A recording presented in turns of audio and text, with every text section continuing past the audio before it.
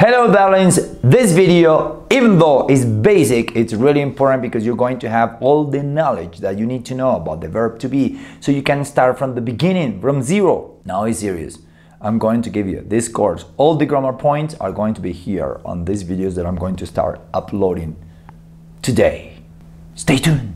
Hola, un abrazo fuerte para todos. De veras te recomiendo que te quedes en esta serie de videos porque no va a haber un solo punto gramatical que no vaya a estar condensado aquí en esta serie de videos. Empiezo ahora sí mi curso de inglés desde cero. No va a haber un solo punto de gramática que te quede pendiente y lo mejor es que esto va a llevar una secuencia progresiva como no la habías visto antes. Quédate acá. Si quieres tener de verdad conocimiento acerca de un tema, tienes que saberlo a fondo. Así que hay de pronto muchos detalles acerca del verbo to be, acerca de los pronombres, de las formas de contestar, que de pronto tú aún no tienes muy seguras y sin embargo tú crees que ya eso del verbo to be es pasado. Pero con esta serie de videos vas a llevar una secuencia que te van a permitir manejar todos los puntos gramaticales a fondo. Sin embargo, recuerda que para la mayoría de estos temas yo tengo un video largo, así que siempre dejaré el link de ese otro video al final para que puedas complementarlo en caso de que quieras ir aún más a fondo en el tema. Todas las semanas voy a estar subiendo videos para que no te quede ni un solo punto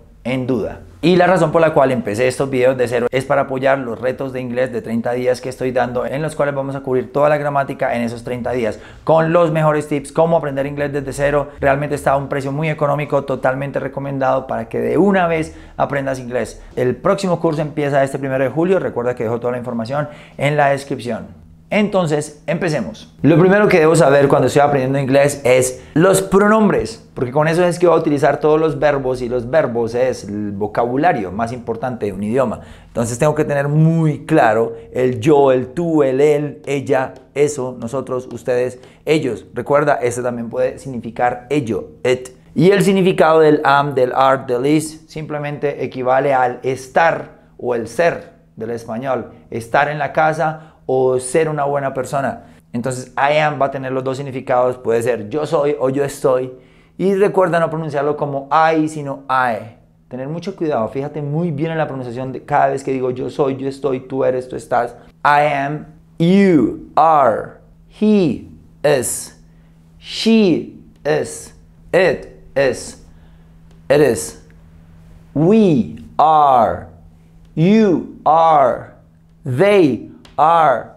Yo soy, yo soy, tú eres, tú estás, él es, él está, ella es, ella está, eso es, ello es, ello está, eso está, nosotros estamos, ustedes están o vosotros estáis, ellos están. Una forma mnemotécnica para recordar esto por medio de asociación, todo lo aprendo por medio de asociación. Amaréis, amaréis el verbo to be porque es el que necesitas para absolutamente todo lo que quieras decir, por eso lo amaréis.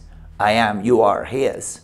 Y todo esto al hablar realmente se dice de esta forma, en contracción. En lugar de decir I am, simplemente digo I'm, estoy, yo soy.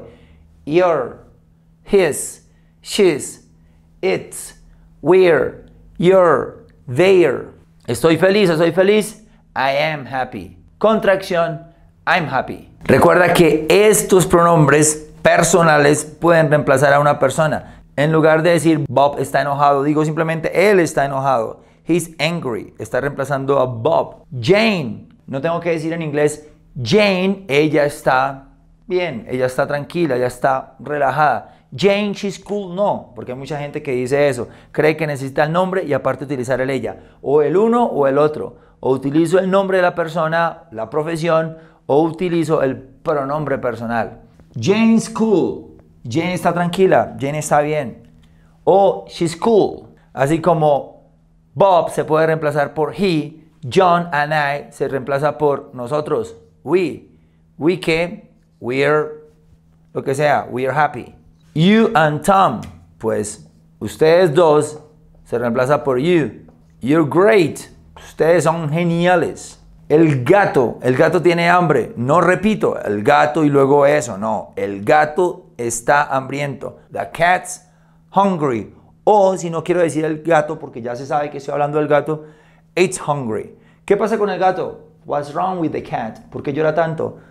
It's hungry. O the cat's hungry. Pero como ya lo nombró la otra persona en la pregunta, ¿qué pasa con el gato? Pues no tengo que repetir, sino simplemente digo el pronombre. ¿Qué pasa con Pedro? No digo Pedro está feliz, sino está feliz. He is happy.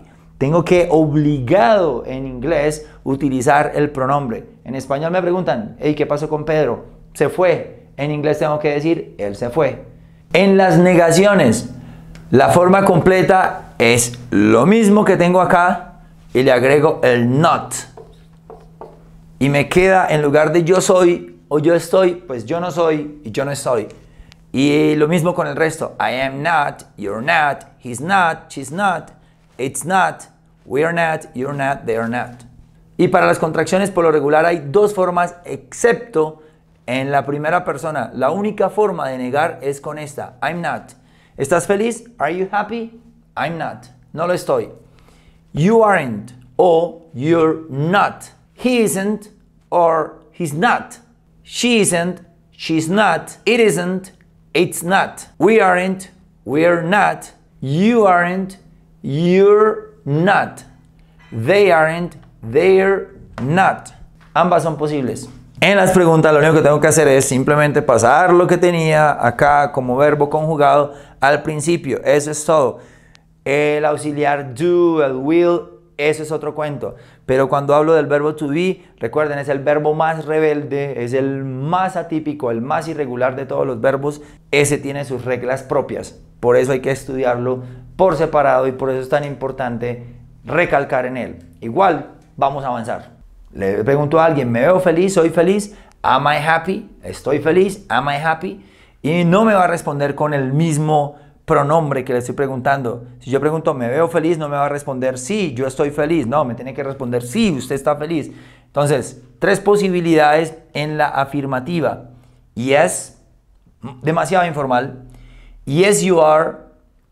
Y la larga, yes, you are happy, que es la que te recomiendo para que puedas practicar mejor la gramática, al mismo tiempo el vocabulario y pues obviamente al mismo tiempo estás practicando speaking. Entonces no te conformes con el yes, ni siquiera con el yes, you are, sino completo. Yes, you're happy. Aún cuando normalmente lo que se diga es yes, you are. Yo no puedo decir yes, you're. No se puede. Jamás. Tengo que decir yes, you are, completo. Negación tiene cuatro posibilidades. Le pregunto, ¿me ves feliz? Am I happy? ¿Soy feliz? ¿Estoy feliz? Am I happy? No. No, you aren't. Van dos. No, you're not. Van tres.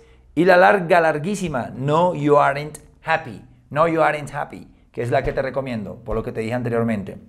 Ahora, le pregunto yo a alguien, ¿estás triste? Are you sad? No me va a responder con you. Obviamente me tiene que responder con I. Me dice sí, yes. Segunda, yes I am. Y la larga, yes I'm sad. Sí, estoy triste. Negativa, cuatro posibilidades. Are you sad? No. No I'm not. Y no I'm not happy. Para él, él está enojado. Is he angry? Is he angry? Yes. Yes he is. Yes he's angry. Tres posibilidades. Cuatro en la negación. Is he angry? No. No, he isn't. No, he's not. No, he isn't angry. Incluso serían cinco, porque podría decir no, he's not angry. Con esas serían cinco posibilidades de negar. De nuevo, para ella, ¿is she okay? ¿Está ella bien? ¿Ella se siente bien? ¿Is she okay? Yes. Yes, she is. Con contracción. Yes, she's okay. Y la forma larga que realmente podrían ser dos así que serán más bien cuatro en lugar de tres, porque serían yes, una, yes she is, dos, yes she is okay, tres, y yes she's okay, cuatro. Cuatro formas de responder eso en inglés. Estoy hablando de un sitio, alguien me dice, vamos para allá, yo le digo, es chévere, es agradable, es nice? Yes, yes it is, yes it is nice, o con contracción, Yes, it's nice. Realmente son cuatro porque puedo responder la afirmativa larga de dos formas, con contracción y sin contracción. ¿Estamos listos? Are we ready? Yes. Sí, ustedes lo están. Yes, you are. Sí, ustedes están listos. Yes, you are ready. Y sí, ustedes están listos con contracción. Yes, you're ready. En la negación, are we ready? ¿Estamos listos? Me responden no. No, you aren't. No, you're not. No, you're not ready y no you aren't ready. Espero que este video te haya servido. Recuerda, todo punto gramatical va a estar aquí. So, this was all for today. Thank you very much for watching. Bye. So, this was all for today. Thank you very much for watching. See you later.